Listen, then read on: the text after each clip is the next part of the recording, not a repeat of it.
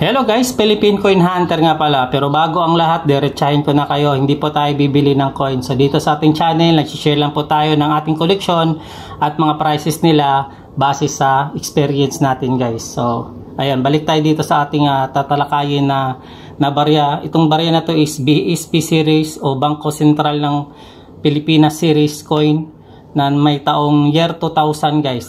Atong year 2000 na to, semi hard to find na po siya. Hindi lang siya basta-basta semi hard to find. Parang uh, tawag dito may por, kung sa persento pa paglalagyan natin siya sa 100% yung difficulties niya siguro nasa 90% siya na semi hard to find. Pero hindi pa siya hard to find na coin. So, ito guys, nabili natin siya. Actually, ano, sa paghahunt natin, nakadalawa lang tayo.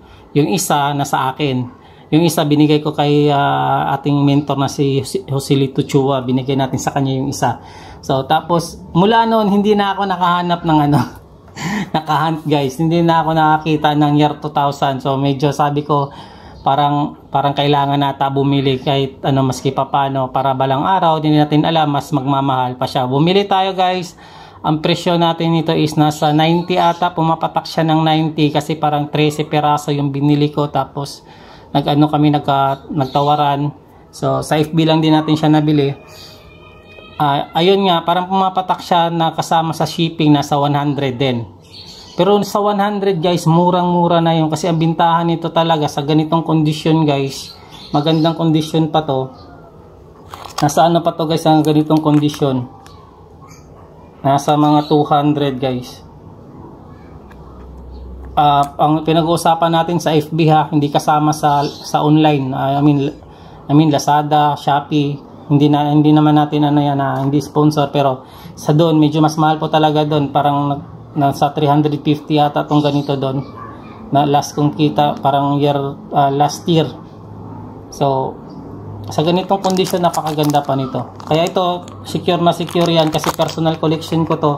Yung iba pala ano din yung sa ano uh, yung mga kasama nito, ayan dinikawan ko na rin. Kumbaga pina uh, may bumili sa atin. Uh, bininta ko rin sa mababang halaga na. Pero syempre, yung iniwan ko, yung tatlo na pinakamaganda. So, ganun lang sa pangungoleksyon guys. Kasi ako, adik ako sana talaga UNC, yung mukhang bago. Lahat mukhang bago hanggat maaari. Kaya yung mga tinitira natin, sobrang ganda po talaga. Ayan, sa, sa 13, 12 peraso, ito lang yung iniwan ko, itong tatlo. Ayan.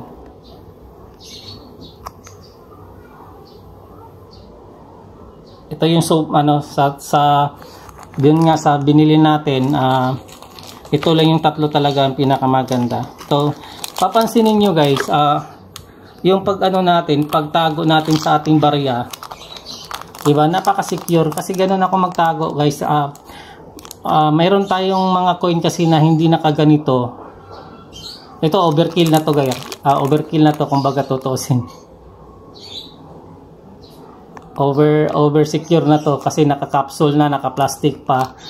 Pero, ito, nasa ano na to guys, mga isang taon na rin to na, na binili natin. Pero hindi po talaga siya nagbago. Yun ang kagandahan sa mga secure na mga lagayan din uh, hindi talaga siya magiging mukhang luma. Hindi siya magiging ganun. Kaya tayo pag mag ano tago sobrang secure. Kasi uh, ulitin ko dati kasi meron din ako mga coin na hindi naka naka hindi naka naka ganito naka plastic or kaya itong plastic pala na to guys is ano yan oh, yung mga ganitong plastic sa mani lang to sa mani yung ginagamit sa mani tapos uh, plastic sealer lang kagaya nitong 10 piso na ano, binili, binili ko to parang 3 months ago. Ang pumangit yung kulay niya guys. Di nakalimutan ko kasi siya. Hindi pa nga ako nakapagtabi. Pumangit yung mukha nila.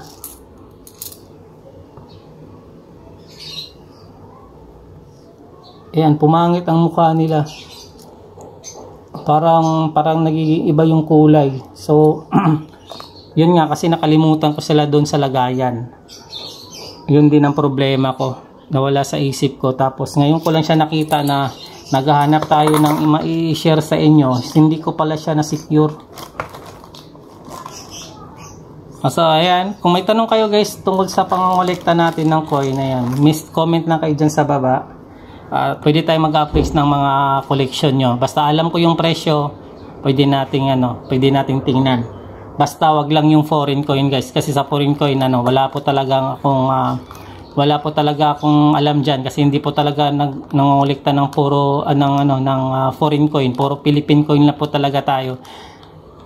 At the same time, hindi rin tayo mahilig sa error. So dito sa ating channel, siguro mag ano man tayo, ah, mag mag mag ano man tayo ng error. So manghiram na lang tayo sa ating tropa na mahilig sa error. Ayan, maraming salamat sa panonood. Philippine Coin Hunter nga pala. Paalam, God bless, bye-bye!